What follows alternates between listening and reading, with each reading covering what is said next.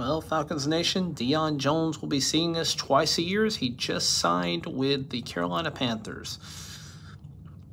Can't help but feel this is a little bit personal.